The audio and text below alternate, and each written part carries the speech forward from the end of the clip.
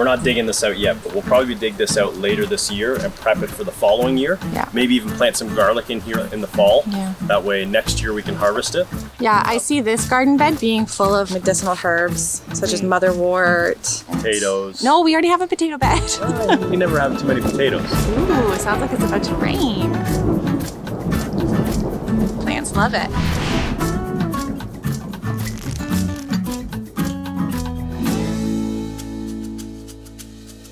I think my favorite part of the garden build was seeing our vision come together, seeing the old stone, actually stacking it, laboring, bringing it all over here, and then once we built it, filling it with soil, and then now seeing the plants in it, like really seeing it all come together, I'm thrilled with the end result. It was a good workout, eh? Yeah, I don't think I worked out at all other than physical labor since I've been home, and I've lost weight, so it's a good sign. Hauling stone from one end of the property to the other, and then the crush, and then the three quarter clear, and then the soil. Yeah, and I mean, it was only 26,000 pounds of wall stone anyway. No big deal. Not a big deal. It's only 26,000. Yeah. I really like how you clean cut these edges. We went for the raw look for the outside of the garden, but then just having that top row really cleanly cut together is really beautiful. It, it just makes it look a little bit more professional, don't you think? Yeah, I do. I, I mean, we tried it, tried doing the just dry stack together. It just didn't look finished. Yeah. And then, so we got our concrete saw out, started cutting.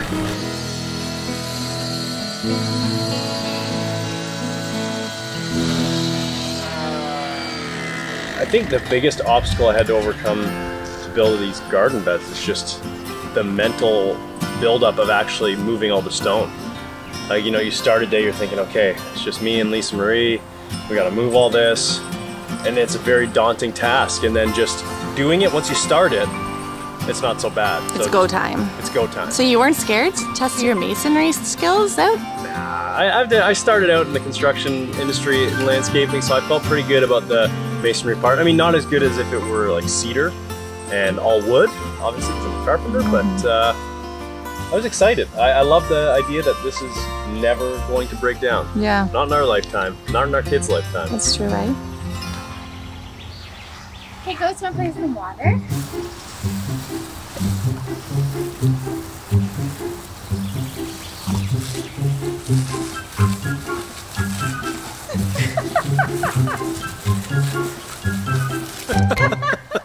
I'm super happy to see how well the plants are doing.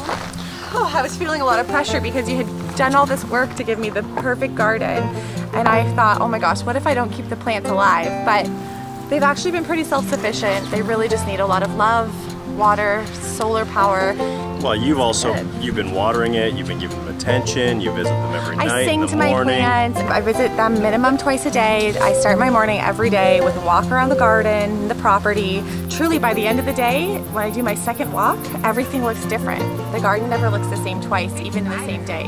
There's always something to be seen or sprouting up or something to learn about. The plants, they like it when you sing to them. That's an old wives' tale that I learned from a German grandmother. She told me that her plants do so well because she sings to them every day. So, neighbors, I'm sorry for ruining your morning with my voice, but I'm gonna be singing to my plants every day for the rest of my life. Neighbors, you're lucky if you get to hear that voice. away, baby. It's a garden, but it also has a second act as a dance floor. We'd be getting busy in the garden. Do the music. Bust a move.